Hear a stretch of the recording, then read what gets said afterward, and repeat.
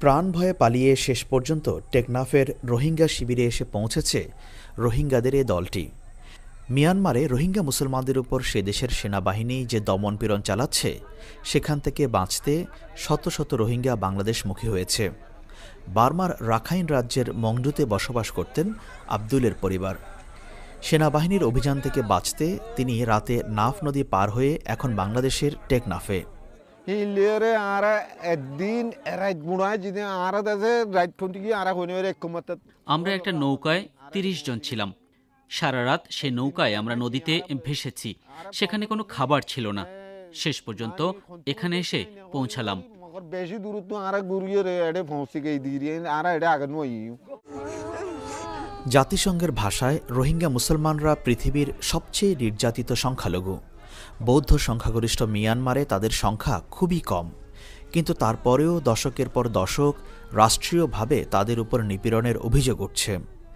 টেকনাফে আশ্রয় নেওয়া রোহিঙ্গারা এসে বলছেন, গত এক মাস যাবৎ রাখাইন রাজ্যে হত্যা, ধর্ষণ, লুটতরাজ একটি নিত্য নৈমিত্তিক ঘটনা। রোহিঙ্গা মুসলমানদের লক্ষ্য করেই এগুলো করা হচ্ছে বলে তাদের অভিযোগ। টেকনাফের একটি শিবিরে আশ্রয় নেওয়া এই নারী বলছিলেন সেখানকার পরিস্থিতি তার কাছে নরকের মতো হয়ে উঠেছে মিলিটারিরা গুলি করে ওরা বাসা ও মসজিদে আগুন দিয়েছে আমার দুই ছেলে নিখোঁজ ওরা মানুষ মারছে আমরা কোথায় যাব দশ দিন কষ্টে কাটিয়ে আমি এখানে এসেছি গত মাসে মিয়ানমারের রাখাইন রাজ্যে বাংলাদেশ সীমান্তের কাছেই কয়েকটি পুলিশ ক্যাম্পে হামলার পর সেনাবাহিনী সেখানে রোহিঙ্গাদের বিরুদ্ধে অভিযান শুরু করে। কারণ সে হামলাগুলোর জন্য তারা রোহিঙ্গা মুসলমানদেরই অভিযুক্ত করছে। টেকনাফের বাসিন্দারা বলছেন, গত এক সপ্তাহ ধরে সীমান্ত পেরিয়ে বহু রোহিঙ্গা বাংলাদেশে এসেছে। কিন্তু এর সংখ্যা কত, সেটি সুনির্দিষ্টভাবে বলা সম্ভব নয়। টেকনাফের কুতুপালংয়ে রোহিঙ্গা শিবির এটি। এটি একটি আনরেজিস্টার্ড রোহিঙ্গা ক্যাম্প হিসেবে পরিচিত। এই ক্যাম্পটিতে ষাট থেকে সত্তর হাজার রোহিঙ্গা মুসলমানের বসবাস। গত দশ পনেরো বছরে যারা বিভিন্ন সময়ে বাংলাদেশে এসেছেন মিয়ানমার থেকে, তারাই এই ক্যাম্পটিতে বসবাস করছেন। এবং সম্প্রতি মিয়ানমারে যে অস্থিরতা তৈরি হয়েছে এবং সেনাবাহিনী সেখানকার রোহিঙ্গা মুসলমানদের উপর যে ধরনের অত্যাচার, নিপীড়ন এবং দমননীতি চালাচ্ছে বলে অভিযোগ পাওয়া যাচ্ছে, তারপরে সেখান থেকে অনেক রোহিঙ্গা মুসলমান পালিয়ে বাংলাদেশে আসছেন। এবং তাদের বেশিরভাগই এই ক্যাম্পগুলোতে এসে আশ্রয় নিচ্ছেন। কুতুপালংয়ের এ রোহিঙ্গা শিবিরে যে মৃত ব্যক্তির জানাজা হচ্ছে, তিনি মিয়ানমার থেকে গুলিবিদ্ধ হয়ে বাংলাদেশে এসে মারা গেছেন বলে রোহিঙ্গারা দাবি করছেন। বাংলাদেশ সরকার যদিও সীমান্তে নিরাপত্তা বাড়িয়েছে, কিন্তু তারপরেও রোহিঙ্গা অনুপ্রবেশ থামানো যাচ্ছে না। স্থানীয়ভাবে কেউ কেউ মানবিক দৃষ্টিভঙ্গি থেকে তাদের সাহায্যও দিচ্ছেন। মিলিটারি আর আর গর হুরা দি ফেলাইয়ে মিলিটারিরা অনেক বাড়ি ঘরে আগুন দিয়েছে। পুরুষদের কাউকে হয়তো গুলি করে অথবা জবাই করে মেরেছে। আমার স্বামীকে গুলি করে মেরেছে। আমি শুধু কিছু জিনিসপত্র বাঁচাতে পেরেছি। আমরা অনেক কষ্টে আছি। মনে হয় সাগরে ঝাঁপ দেই।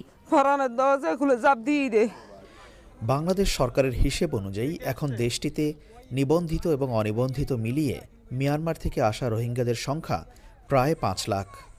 গত ২০ বছরে বিভিন্ন সময়ে তারা বাংলাদেশে এসেছে। কিন্তু তারপরেও এবার রাখাইন রাজ্যে দমনপীড়ন শুরুর পর জাতিসংঘ শরণার্থী বিষয়ক সংস্থা আহ্বান জানিয়েছে বাংলাদেশ যাতে সীমান্ত খুলে দিয়ে রোহিঙ্গাদের আশ্রয় দেয়। সংস্থাটি বলছে রাখাইন রাজ্যে রোহিঙ্গাদের নির্মূল করার মতো পরিস্থিতি তৈরি হয়েছে. এই ঘটনার মূল কারণের দিকে দৃষ্টি দেওয়া দরকার। এর মূল কারণ মিয়ানমারে নিহিত। পুলিশ ক্যাম্পে হামলার পর সেখানে রোহিঙ্গাদের হত্যা, ধর্ষণ, অগ্নিসংযোগ ও লুটতরস করা হচ্ছে। বাংলাদেশের জন্য কথা বলা খুবই মুশকিল যে সীমান্ত খোলা। তাহলে সেটি রোহিঙ্গাদের এখানে আসতে আরও উৎসাহিত করবে। এতে করে মিয়ানমার সরকার রোহিঙ্গা মুসলমানদের নির্মূল করার যে লক্ষ্য, সেটি অর্জনে সহায়তা করবে। The government of Myanmar to continue the atrocities and push them out. এত বছর ধরে বাংলাদেশে যেসব রোহিঙ্গা বসবাস করছিলেন, তাদের আশা ছিল নোবেল বিজয়ী অং সাং সুচি সরকার গঠন করতে পারলে তারা হয়তো নিজ দেশে ফেরত যেতে পারবেন।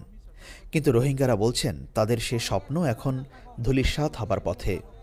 পরিস্থিতির আরও অবনতি হয়েছে বলেই তাদের অভিযোগ।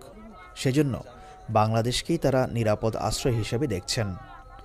আকবর হোসেন, বিবিসি বাংলা, টেকনাফ।